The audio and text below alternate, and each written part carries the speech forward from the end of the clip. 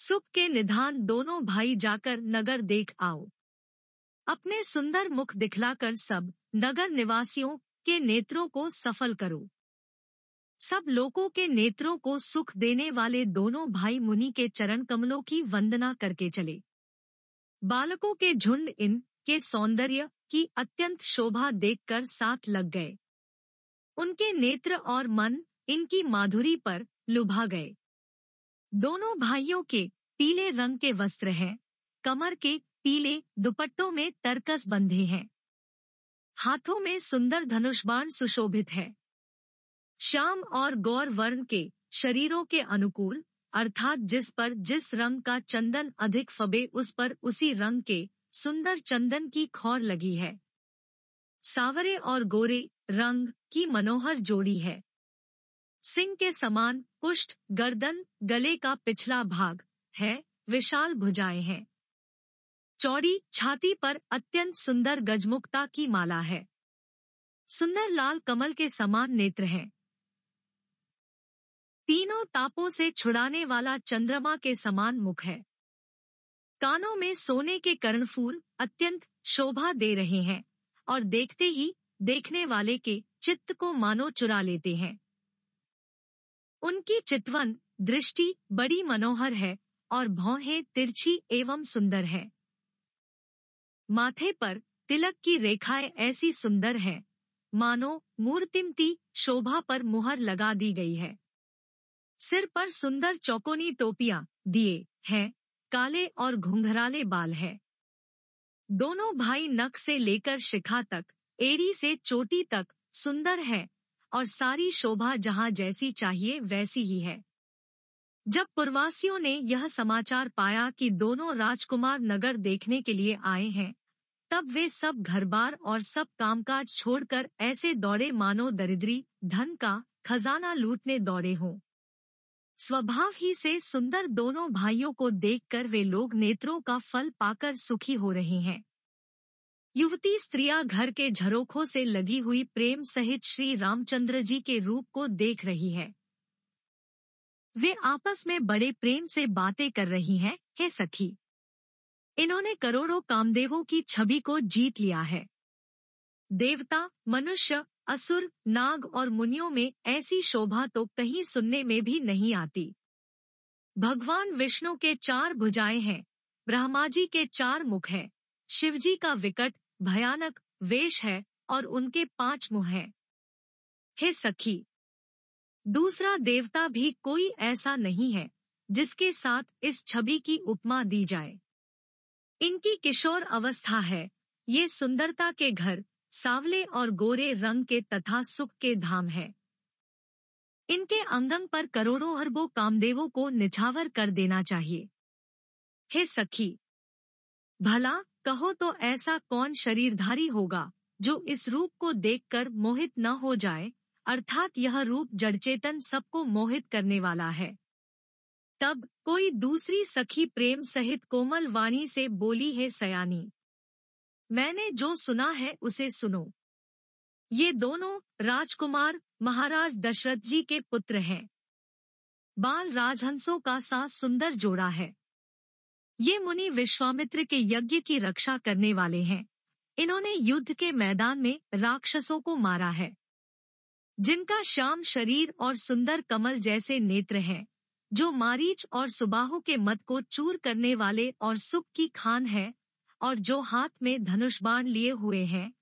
वे कौशल्या जी के पुत्र हैं। इनका नाम राम है जिनका रंग गोरा और किशोर अवस्था है।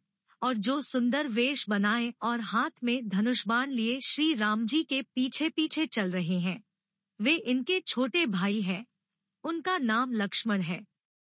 हे सखी, सुनो, उनकी माता सुमित्रा है। दोनों भाई ब्राह्मण विश्वामित्र का काम करके और रास्ते में मुनि गौतम की स्त्री अहल्या का उद्धार करके यहाँ धनुष यज्ञ देखने आए हैं। यह सुनकर सब स्त्रियाँ प्रसन्न हुई। श्री रामचंद्र जी की छवि देखकर कोई एक दूसरी सखी कहने लगी, यह वर जानकी के योग्य है। हे सखी, यदि कहीं राजा इन्हें देख ले तो प्रतिज्ञा छोड़कर हटपूर्वक इन्हीं से विवाह कर देगा। किसी ने कहा, राजा ने इन्हें पहचान लिया है और मुनि के सहित इनका आदर पूर्वक सम्मान किया है, परंतु हे सखी, राजा अपना प्रण नहीं छोड़ता। वह होनहार के वशीभूत होकर हटपूर्वक अविवेक का ही आश्रय लिए हुए हैं। प्रण पर अड़े रहने की मूर्खता नहीं छोड़ता। कोई कहती है, यदि विधाता भले हैं और सुना जाता है कि वे सबको उचित फल देते हैं तो जानकी जी को यही वर मिलेगा। हे सखी, इसमें संदेह नहीं है। जो दैवयोग से ऐसा संयोग बन जाए तो हम सब लोग कृतार्थ हो जाए। हे सखी, मेरे तो इसी से इतनी अधिक आतुरता हो रही है कि इसी नाते कभी ये यहाँ आवेंगे। नहीं तो विवाह न हुआ तो हे सखी, सुनो, हमको इनके दर्शन दुर्लभ है। यह संयोग तभी हो सकता है जब हमारे पूर्व जन्मों के बहुत पुण्य हो। दूसरी ने कहा, हे सखी, तुमने बहुत अच्छा कहा इस विवाह से सभी का परम हित है। किसी ने कहा, शंकर जी का धनुष कठोर है और ये सावले राजकुमार कोमल शरीर के बालक है। हे सयानी, सब असमंजस ही है। यह सुनकर दूसरी सखी कोमल वाणी से कहने लगी, है सखी, इनके संबंध में कोई कोई ऐसा कहते हैं कि ये देखने में तो छोटे हैं, पर इनका प्रभाव बहुत बड़ा है। जिनके चरण कमलों की धूली का स्पर्श पाकर अहल्या तर गई, जिसने बड़ा भारी पाप किया था, वे क्या शिवजी का धनुष बिना तोड़े रहेंगे? इस विश्वास को भूलकर भी नहीं छोड़ना चाहिए। जिस ब्राह्मा ने सीता को सवार कर बड़ी चतुराई से रचा है, उसी ने विचार कर सावला वर भी रच रखा है। उसके ये वचन सुनकर सब हर्षित हुई और कोमल वाणी से कहने लगी, ऐसा ही हो। सुंदर मुख और सुंदर नेत्रों वाली स्त्रियाँ समूह की समूह हृदय में हर्षित होकर फूल बरसा रही है।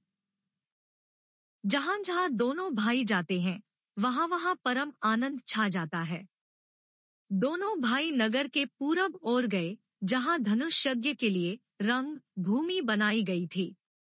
बहुत लंबा चौड़ा सुंदर ढाला हुआ पक्का आँगन था, जिस पर सुंदर और निर्मल वेदी सजाई गई थी। चारों ओर सोने के बड़े बड़े मंच बने थे, जिन पर राजा लोग बैठेंगे। उनके पीछे समीप ही चारों ओर दूसरे मचानों का मंडलाकार घेरा सुशोभित था। वह कुछ ऊँचा था और सब प्रकार से सुंदर था, जहाँ जाकर नगर के लोग बैठेंगे। उन्हीं के पास विशाल एवं सुंदर सफ़ेद मकान अनेक रंगों के बनाए गए हैं। जहाँ अपने अपने कुल के अनुसार सब स्त्रियाँ यथायोग्य, जिसको जहाँ बैठना उचित है, बैठकर देखेंगी। नगर के बालक कोमल वचन कह कहकर आदर पूर्वक प्रभु श्री रामचंद्र जी को यज्ञशाला की रचना दिखला रहे हैं। सब बालक इसी बहाने प्रेम के वश में होकर श्री राम जी के मनोहर अंगों को छूकर शरीर से पुलकित हो रहे हैं। और दोनों भाइयों को देख देख कर उनके हृदय में अत्यंत हर्ष हो रहा है। रामचंद्र जी ने सब बालकों को प्रेम के वश जानकर यज्ञ भूमि के स्थानों की प्रेमपूर्वक प्रशंसा की। इससे बालकों का उत्साह, आनंद और प्रेम और भी बढ़ गया, जिससे वे सब अपनी अपनी रुचि के अनुसार उन्हें बुला लेते हैं और प्रत्येक के बुलाने पर दोनों भाई प्रेम सहित उनके पास चले जाते हैं। कोमल, मधुर और मनोहर वचन कहकर श्री राम जी अपने छोटे भाई लक्ष्मण को यज्ञ भूमि की रचना दिखलाते हैं। जिनकी आज्ञा पाकर माया लव निमेश पलक गिरने के चौथाई समय में ब्रह्मांडों के समूह रच डालती है। वहीं दीनों पर दया करने वाले श्री राम जी भक्ति के कारण धनुष यज्ञशाला को चकित होकर आश्चर्य के साथ देख रहे हैं। इस प्रकार सब कौतुक विचित्र रचना देखकर वे गुरु के पास चले। देर हुई जानकर उनके मन में डर है। जिनके भय से डर को भी डर लगता है, वही प्रभु भजन का प्रभाव, जिसके कारण ऐसे महान प्रभु भी भय का नाट्य करते हैं, दिखला रहे हैं। उन्होंने कोमल, मधुर और सुंदर बातें कहकर बालकों को ज़बरदस्ती विदा किया। फिर भय प्रेम, विनय और बड़े संकोच के साथ दोनों भाई गुरु के चरण कमलों में सिर नवाकर आज्ञा पाकर बैठे। रात्रि का प्रवेश होते ही, संध्या के समय, मुनि ने आज्ञा दी, तब सबने संध्यावंदन किया। फिर प्राचीन कथाएँ तथा इतिहास कहते कहते सुंदर रात्रि दो पहर बीत गई। तब श्रेष्ठ मुनि ने जाकर शयन किया। दोनों भाई उनके चरण दबाने लगे। जिनके चरण कमलों के, दर्शन एवं स्पर्श के लिए वैराग्यवान पुरुष भी भांति भांति के जप और योग करते हैं। वे ही दोनों भाई मानो प्रेम से जीते हुए प्रेमपूर्वक गुरुजी के चरण कमलों को दबा रहे हैं। मुनि ने बार बार आज्ञा दी, तब श्री रघुनाथ जी ने जाकर शयन किया। श्री राम जी के चरणों को हृदय से लगाकर भय और प्रेम सहित परम सुख का अनुभव करते हुए लक्ष्मण जी उनको दबा रहे हैं। प्रभु श्री रामचंद्र जी ने बार बार कहा, हे तात, अब सो जाओ। तब वे उन चरण कमलों को हृदय में धरकर लेते रहे।